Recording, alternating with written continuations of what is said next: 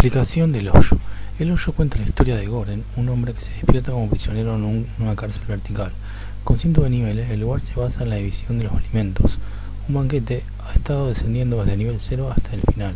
Cuanto más abajo, menos comida y más precaria es la situación.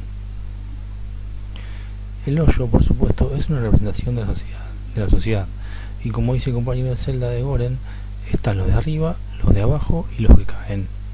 La comida es el recurso, cuanto más alto estés, más alimentos estarán disponibles, hasta que no haya nada para los que están abajo.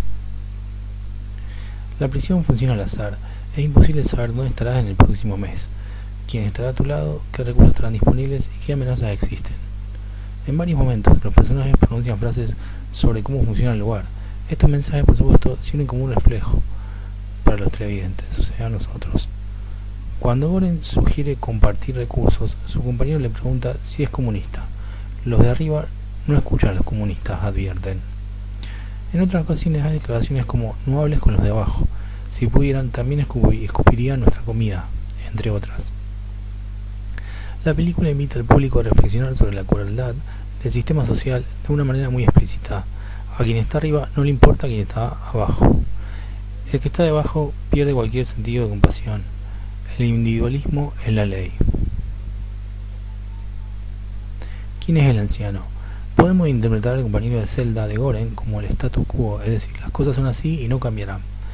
Es que le enseña al protagonista cómo funciona el hoyo. Desprecia a quien está abajo, no le pidas nada a quien está arriba, acepta tu condición y a los demás que luchan. También vale la pena señalar que el anciano termina en prisión después de ser engañado por el consumismo, lo que le hace comprar cosas innecesariamente. Frustrado, mata a una persona que no tuvo nada que ver con la situación. Otra posible interpretación es que, es el, es que el, anciano es Dios. Siempre está hablando en la conciencia de Goren y parece tener la respuesta para todo, aunque no siempre quiera darlas. El libro y el cuchillo. Cada prisionero puede llevar un artículo de la prisión. El viejo lleva un cuchillo y Goren un libro. Cuanto más abajo están, más útil es el cuchillo y el libro es inútil. No hay espacio para eso aquí el anciano. Podemos interpretar este choque como cultura versus violencia.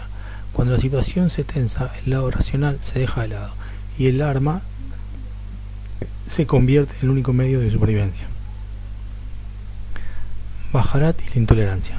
Ayer a nivel 6, casi en la cima, Goren se encuentra con un hombre llamado Bajarat. El personaje trae una cuerda e intenta hablar con la pareja en el nivel superior para que puedan ayudarlo a subir. La pareja no deja que Bajarat suba, burlándose, maltratándolo y violentándolo al hombre. Claramente la situación representa intolerancia y prejuicio de clase, raza, creencia, etc. ¿Quién es la mujer con el perro? Un día Goren se despierta junto a una mujer que trabaja para la administración, que podemos interpretar como el gobierno en el mundo real.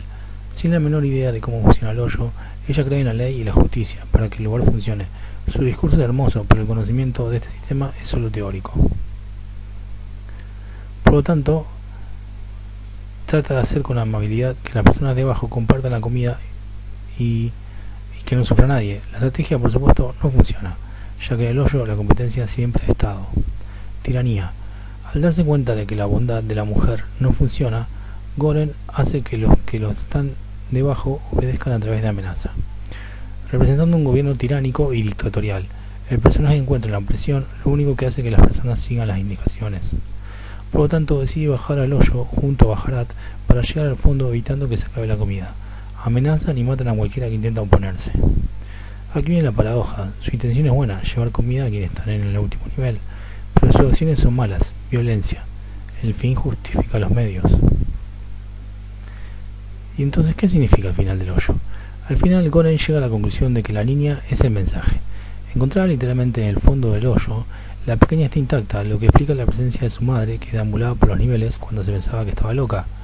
No hay una explicación concreta, pero podemos interpretar que la mujer siempre ha hecho lo que Goren está haciendo ahora, subir y bajar del hoyo para llevarle comida a su hija y protegerla. El fondo del hoyo. Al llegar al último nivel, que es el número 323, Goren ya tenía la fama de Mesías.